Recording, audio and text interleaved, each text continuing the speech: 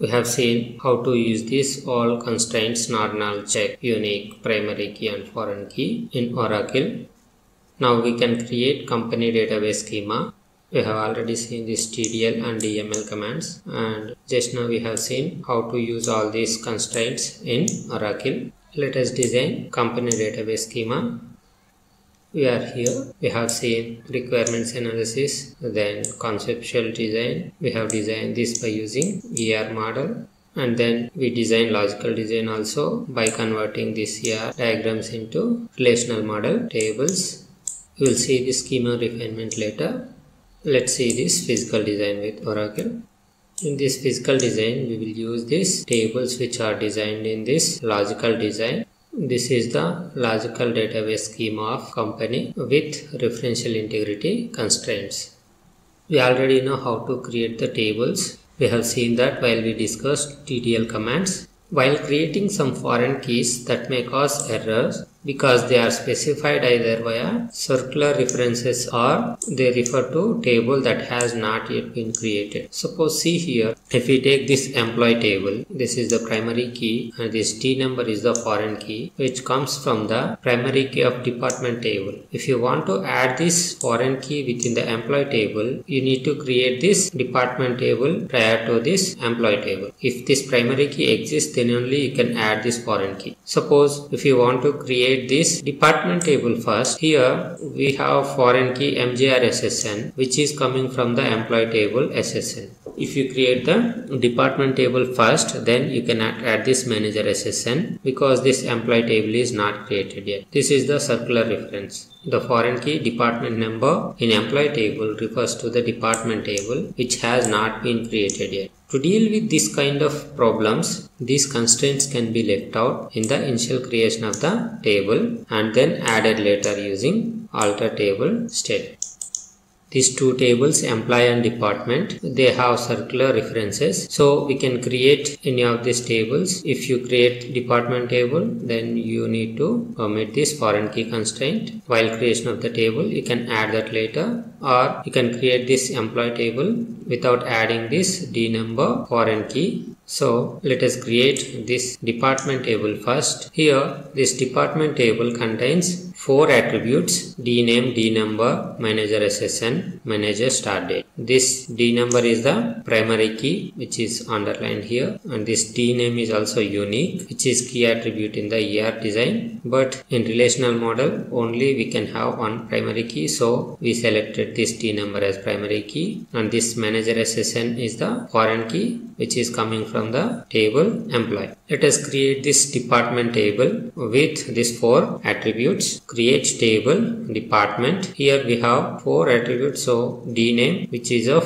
varchar of size 15. In ER design we have seen that this is the key attribute but here we didn't choose it as a primary key. So anyway it is not null and D number which is of type integer which is also not null mgr ssn of type character which is also not null manager start date type date. This is the primary key so we need to add primary key constraint primary key of this d number table level constraint. This d name is also key attribute means this is eligible for primary key so it will be containing unique value so we are adding this unique constraint. Suppose if we have a restriction that this department number is between 1 to 10 we can add check constraint like this check d number greater than or equal to 1 and d number less than or equal to 10 actually which is not specified in the requirements. We are adding it for to know how to use this check constraint. And here we did not add this manager ssn foreign key constraint in the creation of this department table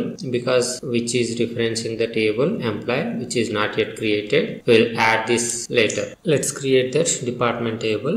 In oracle user and schema both are same. So let us create new user. Here i am creating user dbms lab with password secret user created. You need to give system privileges to this user in order to connect and to create database objects within that user. So let us give system privileges. This can be done by using these two commands. Grant connect to dbms lab which will give the session privileges. By using this command this user will get the session privileges with this this user is with this this user is able to create database objects and now let us log in as dbms lab user here first one is the username and second one is password now we connected as a DBMS lab user. Within this user, let us create our company schema. First create the department table. Create table department dname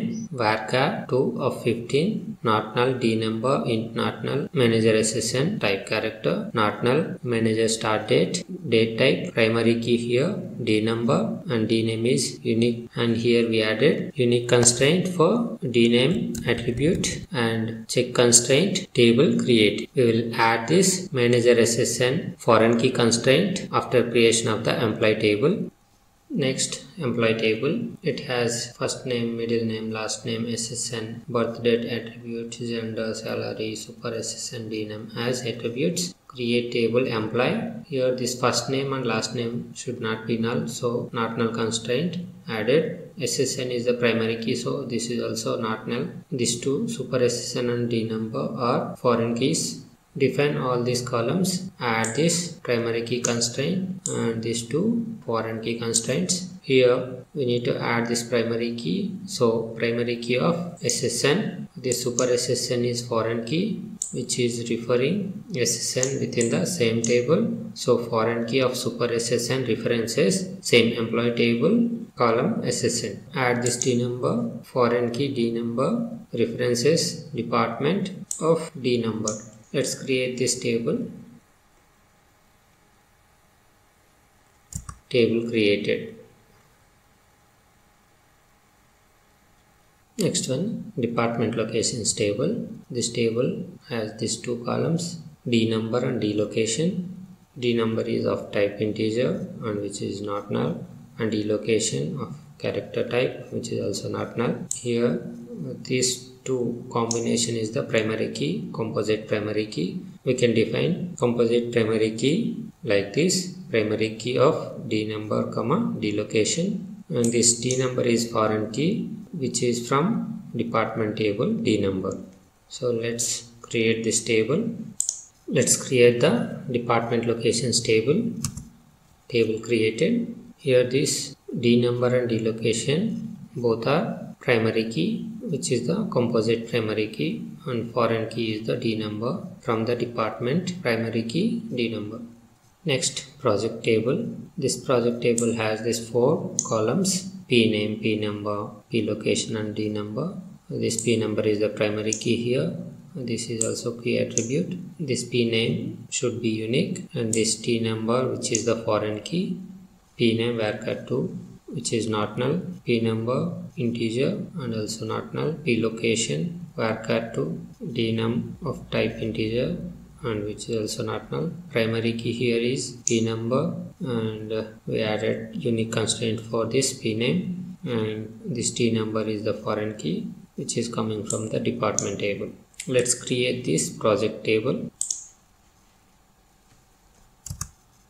Table created let's create this workson table which has three columns ESSN, P number and relationship attribute hours ESSN of type character not null, P number of type integer which is also not null, hours decimal of 3 comma 1 not null. Here primary key is composite primary key ESSN and P number. So add this primary key constraint ESSN and P number. Foreign key ESSN references employee SSN. Foreign key P number references project P number. Let's create the table. See here, we can use decimal or number. Here I am using number. Table created and last table dependent.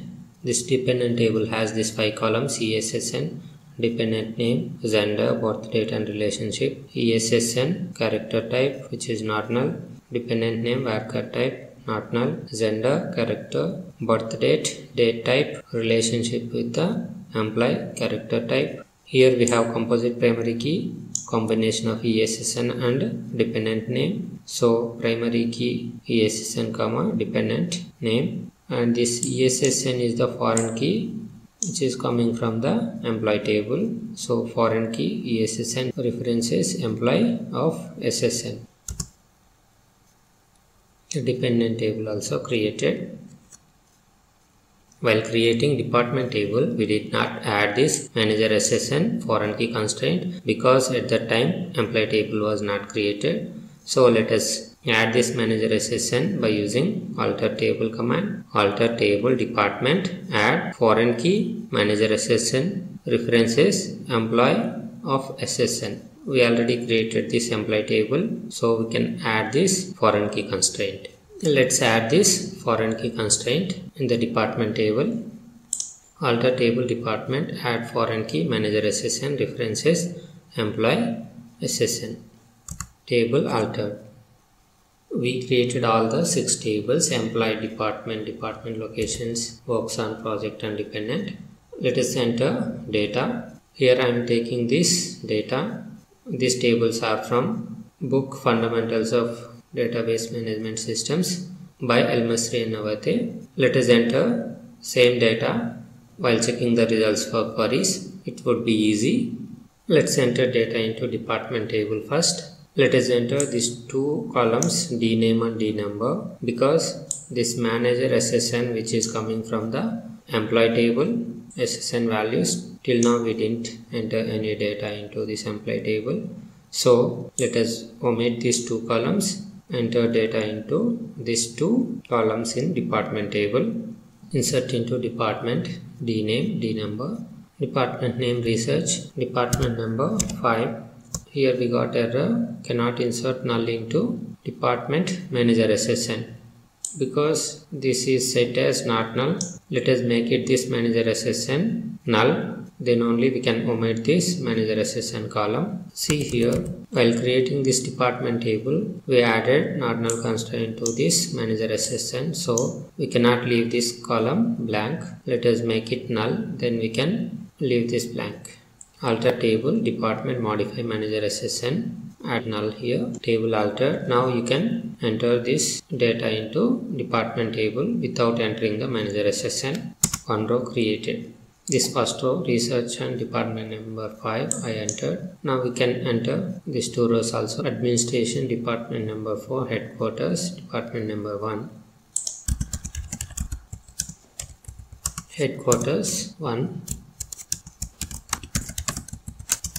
three rows inserted into this department table. But if we enter data like this it will take time. So I have written all the insert statement in one script and we can load that script. Then all these values will be inserted into database. I written all these insert statements into one file employeedb.sql within this we have all these insert statements insert into employee. And we have this many rows. After entering the employee table data now we have the ssn value so we can update the department table by adding this manager ssn like that for department locations project and dependent. See here within this workson table hours is set as not null. If you want to enter null value into this hours column then we can make this column as null. We can do that by using this alter statement alter table works on modify hours and its data type number 3 comma 1 null if you set like this then you can enter null value into this table. Okay let us load this script. I have placed that script in c drive. So the rate C drive in the file name employeedb.sql see here all those insert statements executed. So all those data inserted and we used two alter statements there. One is for making odds to null and another one is we set the manager ssn first to null. So after entering the manager ssn value we can set that again to not null. These two alter statements also executed. With this we have created all these tables and we completed entering data into these tables we enter same data into our tables. It will be useful when we execute the queries and we can compare the results with the book. While we creating tables we did not add this on delete on update cascade. If you want you can just add these two clauses while creating the tables. And we can even give the constraint names for the constraints we just only given this primary key of ssn for this constraint we can specify constraint name by using constraint. This is the user defined constraint name emp primary key. And for this foreign key constraint emp super foreign key. And here we can add this on delete set null on update cascade. If you use this when you delete parent record all child rows will be set to null. When you update the parent table value same value will be updated within all the child rows. Like that you can even add this on delete on update classes for department table and other tables also.